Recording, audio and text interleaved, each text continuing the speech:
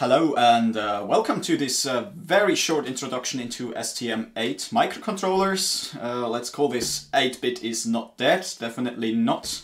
I'm Simon, I'm an embedded electronics engineer and you can find me on GitHub there. So, to begin with, you might even ask why 8-bit to begin with? Why use 8-bit microcontrollers if you come uh, from STM32 or something similar, perhaps? Uh, I have this example right here from the company that I work at. Uh, we have a battery powered device uh, which we which is low cost uh, certainly and we want to indicate the battery level like red, green and orange uh, with a hysteresis depending uh, where the voltage is at. So at one point we all went to school and there was something this little chip there called a comparator. And you can uh, you heard something about uh, hysteresis and uh, you can set voltage levels.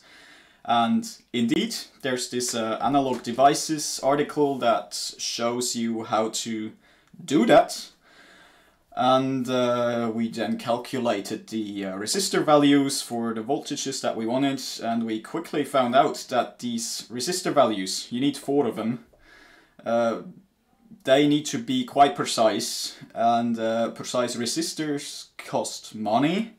So you end up at like 10 cents per resistor plus the uh, analog IC and if you check the price of a uh, STM8 microcontroller it's also 50 cents. And you are much more flexible with the voltage levels uh, because you have an ADC on board. So that's why the, we decided to use an STM8 microcontroller instead. So the STM8 uh, system has many different branches. You can look them up yourself. Uh, we ended up using a very small one um, in an SO8 casing uh, with this uh, Discovery kit.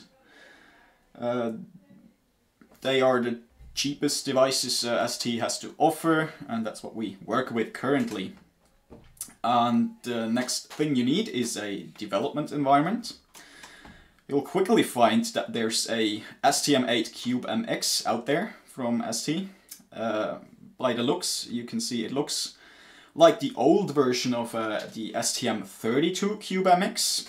And you can do similar things. You can config configure the input outputs and you have your uh, peripherals there, your timers, uh, you can set that all up, but there's no code generation unfortunately.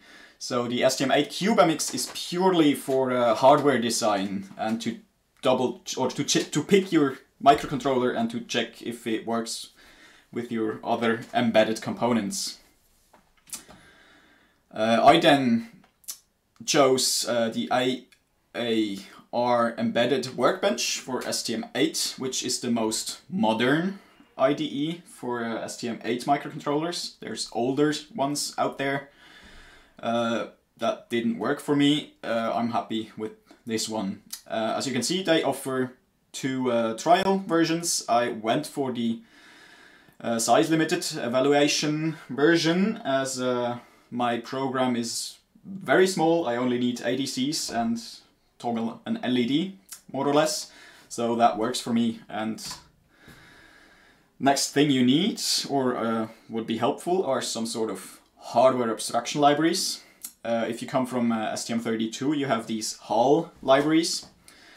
In STM8, you have something similar called standard peripheral libraries, but you have to set them up all by yourself, as you don't have a code generation mechanism anywhere. So you can download these zip files and uh, you can extract the uh, library files for all your peripherals and you have to handpick uh, the source files that you require for your uh, for your system. Uh, I'll show you in a minute. Uh, a disadvantage between the two versions listed there, you have different devices, the S and the L line. And the libraries they don't they are not compatible. They don't match with uh, uh, letter cases for function names and uh, things like that. Uh, they are not compatible.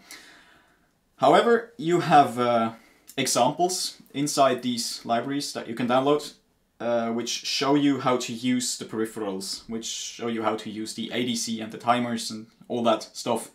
So that's all there and uh, whatever you need you can copy, paste into your main file and uh, configure your software.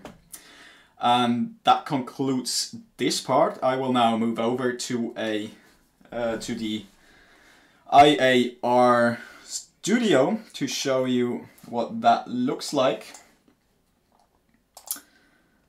Uh, so I've got it here. This is my current project that I'm working at. And, um, pardon. Uh, here in the source file, these are the uh, standard peripheral libraries that you can copy. And as you can see, for example, timer 3 is missing as it is uh, either it's not present on the platform or uh, I don't use it. So you have to be careful to select your source files. And then you have a main file which is empty at the beginning. Uh, and you have the configuration.h. So here you uh, define the type of microcontroller that you use and uh, afterwards all the includes uh, happen. This also serves as a double check to see if your selected microcontroller actually supports uh, ADCs or other peripherals as they get included here. And then in the main file you have your uh, definitions and your main function where you have uh, your usual program that is running. And below here you have the configuration functions, the init functions, uh, which is mostly copied from uh, examples that you find inside the standard peripheral drivers. You can also include third-party uh, software. I have a uh, WS2812 library for the RGB LED, as you will see right now. I'm gonna move over to a quick demo. Here is the current prototype that I'm working on, and I have the STM8 Discovery board right here. I uh, use it to like unplug the the chip, plug it in here, program it, uh, and then switch it over here to the custom hardware. Uh, which is uh, this battery powered device as I mentioned and I have this button and this is just a demo which has RGB LED on it which is uh, these uh, NeoPixels that you know uh, as we all know from the gaming industry RGB makes everything better. Uh, so that's this quick demo that I have on here and I'm still working on the ADC but I'm quite happy with the standard peripheral libraries, it's it's really not a complex chip for that matter. Uh, very simple and uh, good examples. So you're you'll find your way around. It's pretty fast.